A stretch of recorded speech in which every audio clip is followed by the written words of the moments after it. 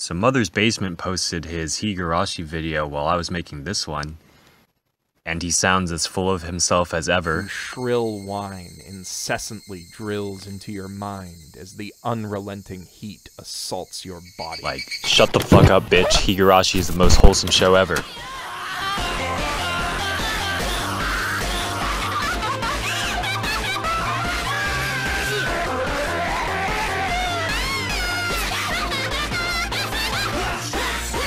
The main friend group in Higurashi is amazing. They are basically the perfect friend group. Everyone is super fun, they all have great chemistry, and it's just nice to see that they all have a great time together. What could possibly cause this group to break apart? The horror of Higurashi is based on that fear. Specifically, the fear that forces outside anyone's control can affect your friends to the point of having negative effects on everyone in the group. In the case of Higurashi, they go insane and start murdering people. In the show, the obvious force outside anyone's control is the government conspiracy exploiting the Hinamizawa syndrome. No one in the friend group has any idea about the agency, and so they aren't able to do anything about it.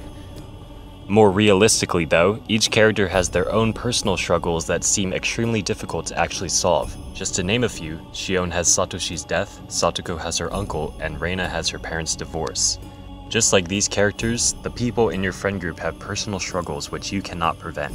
Just like how Keiichi can't stop Rena's parents from getting a divorce since he can't time travel, you can't prevent your real life friend's parents from divorcing either, and single unfortunate events usually lead to more unfortunate effects. For Rena specifically, the misfortune started with her parents' divorce. This led to her dad getting a new girlfriend, which led to him being exploited for money, which led to his safety being threatened, which led to Rena confronting the girlfriend, which led to her killing the girlfriend.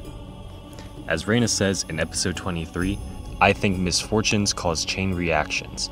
Once it starts, it's difficult to get out of it. In order to escape, it takes great effort. And so, what happens if you can't prevent every single problem your friends might have? The answer Higurashi seems to give is that the unfortunate events build, and then your friends go insane and murder a bunch of people. And then the timeline resets, and you have to watch it all over again. The embodiment of this hopeless feeling is Rika. She has seen her friends continuously tear each other apart and lost all hope. It seems like there's nothing she can do to keep this from happening because everyone just has too many of their own problems that no one can do anything about.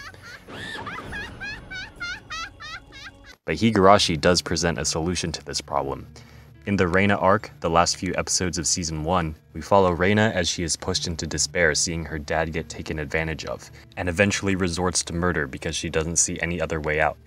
And then her friends find out. Keiichi asked Rena why she needed to be pushed this far.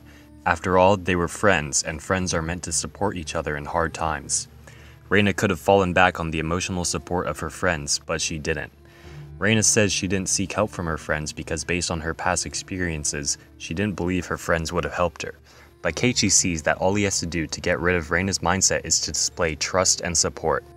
He says that since they are friends, he will believe that this horrific murder was the very, very last thing she could have done. And then everyone puts their hands together, showing that they all trust Rena's judgment and they will try to support Rena by continuing to be friends. Basically, the best friend squad decides to continue being best friends who will support each other in their times of need and also bury the chopped up corpses of the people Rena murdered.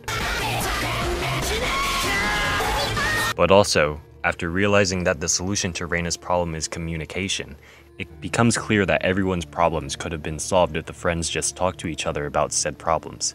If Keiichi had been able to get through his paranoia, he could have easily just talked with Mion and Rena and realized they weren't trying to kill him. However, he is held back by his Hinamizawa syndrome, which throughout the series represents the mindsets and situations holding back each character from seeking help from each other. Everyone has something holding them back from finding help.